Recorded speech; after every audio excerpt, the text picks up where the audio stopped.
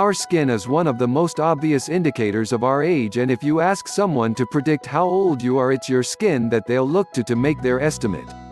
For this reason, anti-aging skincare is one of the surest ways to look younger and healthier to make sure that there are no awkward moments when someone mistakes your sister for your daughter. Using the correct techniques, it's possible to cut up to 25 years off your appearance, maybe more and not only look better but feel better too. And if you are watching Rich Flava for the first time, hit the subscribe and bell button to get all our updates. Number 1 Protecting your skin with the right nutrients. The first facet of anti-aging skincare is in our diet, and the more healthily we eat, the smoother and healthier our skin will be. This stands to reason when you consider that it's our food that provides our body with the building blocks required to make look after our skin and every other tissue and muscle in the body. You literally are what you eat, and if you want healthy skin you need a healthy diet. When thinking specifically about trying to look younger, there are three main things we need in our diet, antioxidants, vitamins and fats. Number 2 Antioxidants. First of all the antioxidants, found in foods such as citrus fruits and fish, will help protect our skin cells, and every other cell, from oxidization and attack from free radicals. We've touched on this idea briefly already but to reiterate every cell in your body is under constant attack from free radicals which damage the cell walls when they come into contact with them. Enough of these bombardments and eventually, that microscopic damage becomes macroscopic and your skin appears tired and wrinkled. Worse is that this damage can eventually penetrate through to your DNA at which point your cells will become mutated and look damaged when they divide. In the worst case scenarios, this can lead to the formation of cancerous tumors.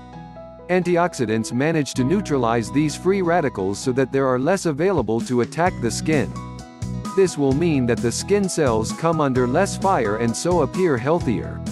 At the same time this will help protect the skin and other cells against cancer by lowering the chance of the DNA behind the cell walls being damaged or mutated.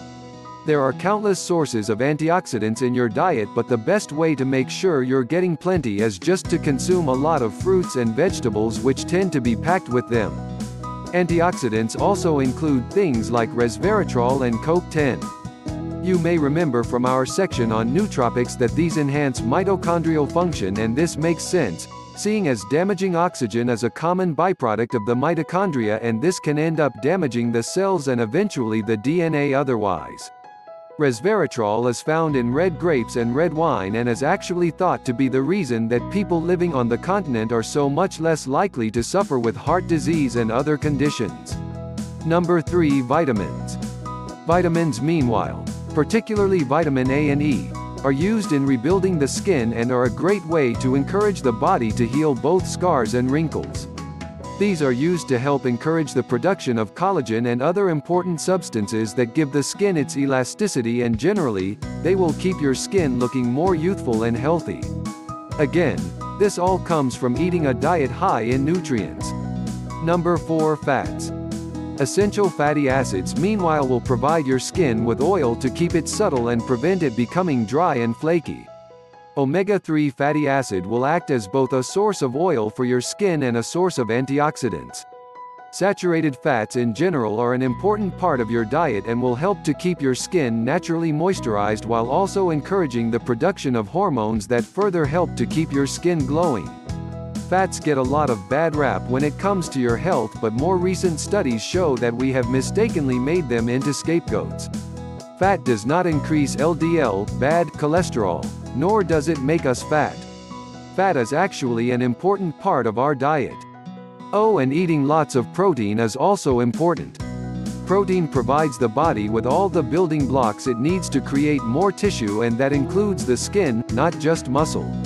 Don't forget to give us a thumb up and tell us what do you think in the comment section. For more info check the links in the description below.